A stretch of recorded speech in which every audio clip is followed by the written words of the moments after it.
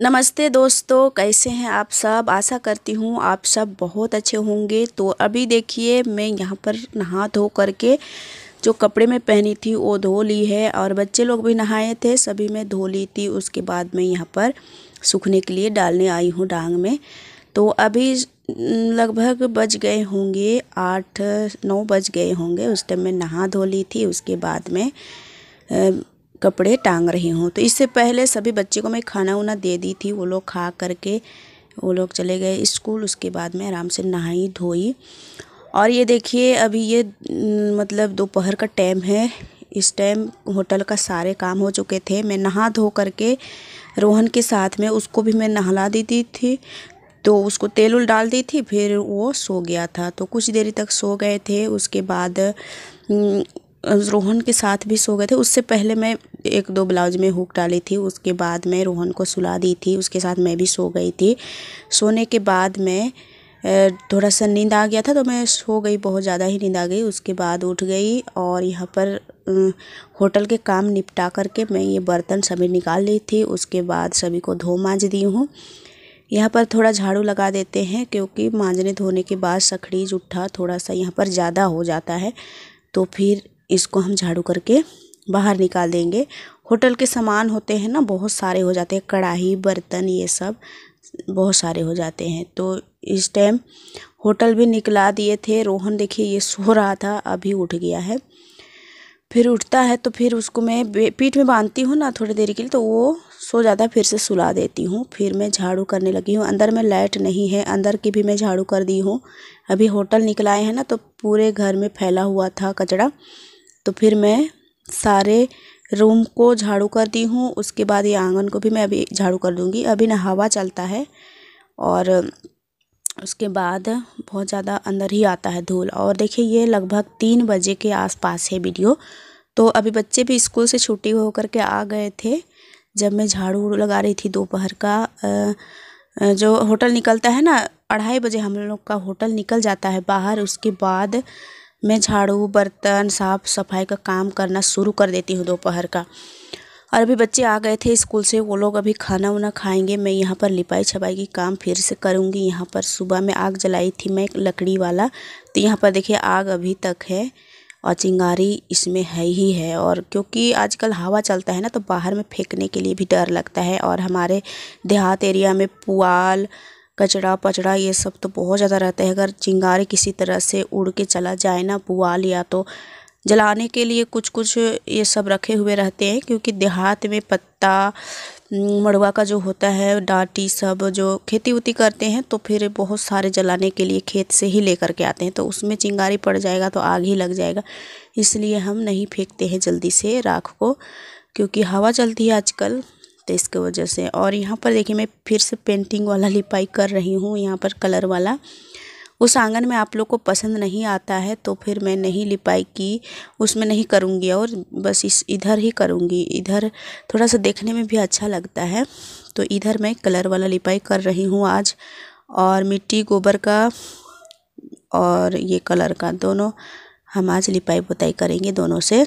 तो यह देखिए, हम इस, जो ये मिट्टी का बर्तन है, उसमें हम गोबर घोले हैं।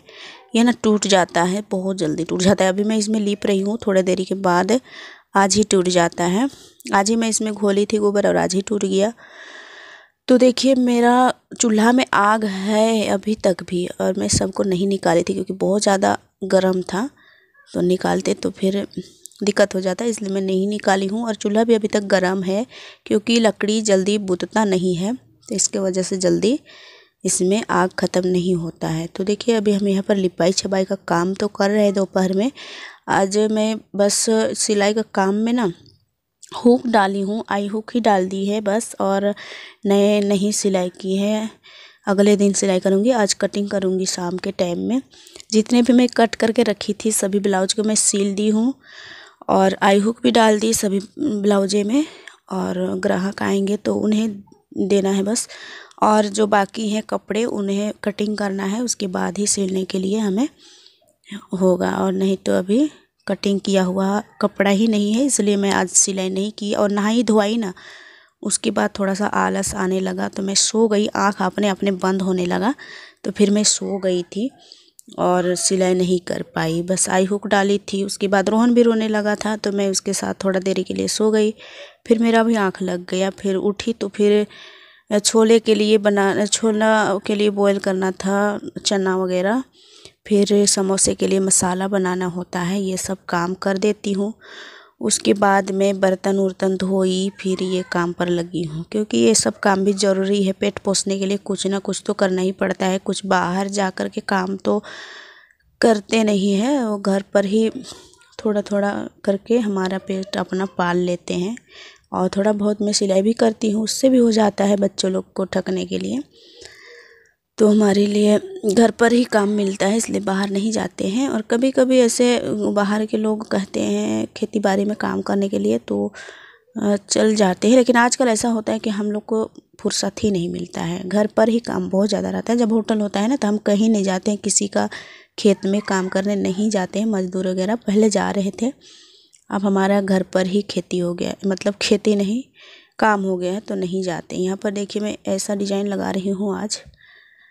गोबर को बीच बीच में लिपाई कर रही हूँ और किनारे किनारे में ये कलर दे दे रही हूँ। कैसा लग रहा है आप लोगों को बताइएगा कमेंट में ज़रूर। उधर का आँगन में मैं लिपाई की थी तो बहुत से फ्रेंड्स बोल रहे थे कि अच्छा नहीं लग रहा है, ऐसे मत लिपाई करिए।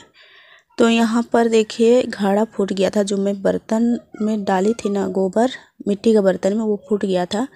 उसके बाद में देखिए फिर से ये डेगची में घोल ली हूँ। और पहले जो मैं घोली थी गोबर, उसमें मैं उसको धो ली थी, उसके बाद उसमें मैं कलर घोली हूँ। तो यहाँ पर मैं सारे मतलब पूरे आँगन को लिपाई कर ली थी, उसके बाद मैं कलर डाल रही हूँ किनारे किनारे में। देखने में अच्छा लगता है। सुबह का टाइम उठ के देखो ना, झाड़ू उड़ू करो तो बहुत अच्छा लगता है देखने में। और हमारे देहात में कोई ऐसे लिपाई नहीं करते हैं तो अचानक से कोई देखते हैं ना तो बोलते हैं कि ऐसा अलग सा डिज़ाइन आप लिपाई की है, बहुत अच्छा लगा है। ऐसे बोलते हैं तो अच्छा लगता है। कोई देख कर के खुश होता है ना तो अच्छा भी लगता है हमको। इसलिए फिर से मैं ये कलर वाला लिपाई कर रही हूँ और यहाँ पर थोड़ा सा डिज़ाइन करके देख रही थी कैसा लगता है तो बस देखने में अच्छा लगा। मेरे बच्चे बोल रहे थे, क्या बनाई है माँ? लूडो वाला बनाई है क्या? खेलेंगे इसमें? हम बोल रहे, खेलने के लिए नहीं बनाए हैं, बस तो ऐसे ही पेंटिंग बना दे रहे हैं। कलर वाला लिपाई कर रहे हैं ऐसे। और मेरे बच्चे हैं, ऐसे है ना, थोड़ा चुलबुली टाइप का है तो वो हँसी मज़ाक भी करते हैं क्या बना रहे लूडो बना रहे हैं।